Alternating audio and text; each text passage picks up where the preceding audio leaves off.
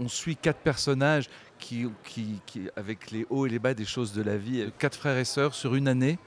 Euh, à des moments importants de leur vie où, ils essayent de se réaliser. Un, le personnage de, Jean-Pierre qui, qui, a un destin un peu plus euh, assez exceptionnel.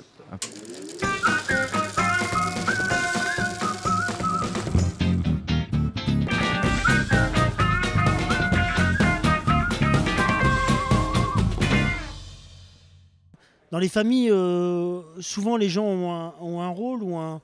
Moi, je vois, euh, quand je, si je me souviens quand j'étais gamin, mes oncles, j'avais l'oncle rigolo, l'oncle qui avait raté sa vie, l'oncle, on se dit, tiens, il est peut-être un peu homo. Euh, non, mais tu vois, ils sont caractérisés par des choses. Mon personnage, oui, c'est un peu ça, et tous d'ailleurs. Hein.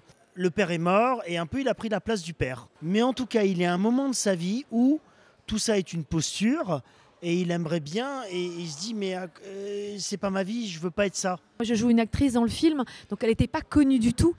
Il y avait quelque chose de très cristallin et de beau et d'unique dans cet amour avec ces deux êtres qui rêvaient de théâtre.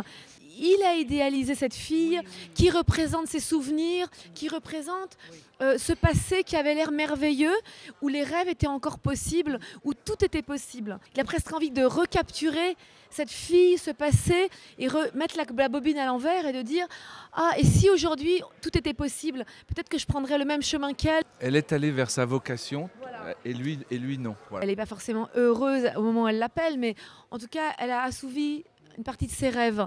Et, et, et je trouve ça très beau, la manière qu'ils ont de. Il y en a un qui a suivi sa route et l'autre pas, forcément. Voilà. Le personnage que j'incarne, il n'est pas forcément dans la frustration. Euh, on n'en sait pas beaucoup d'ailleurs sur elle, donc euh, on a que quelques bribes et elle sert plutôt euh, à installer l'univers du, du, protagoniste euh, principal de, de, de Jean-Pierre, Jean-Paul. Ouais. Pour elle, il y a encore de l'amour. Après, quand c'est pas réciproque. Euh, Si, je pense qu'il y a encore de l'amour, effectivement, et de sa part aussi. Euh, et je, pense qu'il a épousé une femme peut-être un peu plus discrète, peut-être euh, après un grand amour qui a avorté, on se retrouve euh, différemment, etc. Sarah, je la trouve formidable dans le film, et je voulais qu'elle soit différente du reste de la famille, du reste des deux sœurs qui sont deux blondes, et que se pose le choix à un moment comme euh, de, dans quelle famille il est, avec elle, ou toujours avec sa famille d'origine? Parce que ça, c'est des petits conflits qu'on peut avoir à un moment ou à un autre, je trouve.